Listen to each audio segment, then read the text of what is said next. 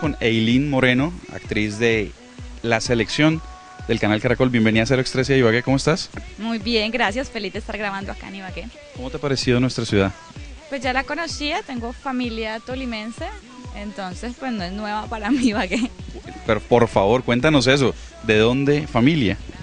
Eh, pues acá en Ibagué tengo tías, primos, pues yo soy vallecaucana, pero por parte de mi mamá hay bastante familia acá. ¿Los nombramos? ¿Lo echamos al agua? Nada, nada.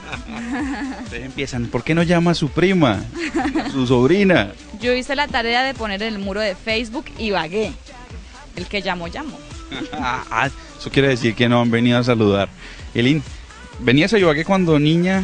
¿Tienes recuerdos de, de infancia de, de nuestra ciudad? Sí, de niña me traían bastante como los fines de semana y esto, a una finca que tiene la familia.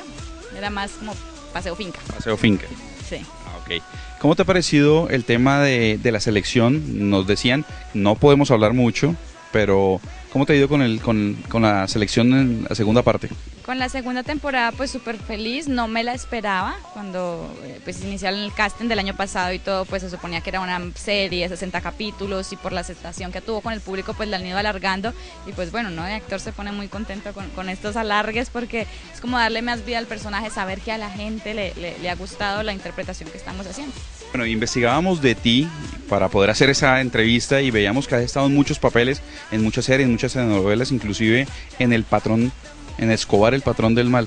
¿Cómo te fue con, con esa serie?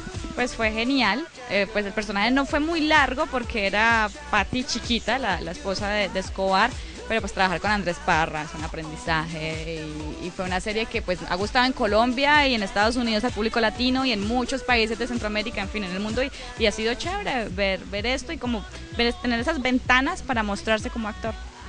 Como actor y como actriz, tú lo decías, ¿cómo fue tu preparación y cómo fue tu llegada a, a la pantalla como tal? Eh, yo soy de la escuela de actor del canal Caracol. Eh, antes de entrar ahí ya estaba en una serie que la gente quiso mucho, que se llamaba Padres e Hijos.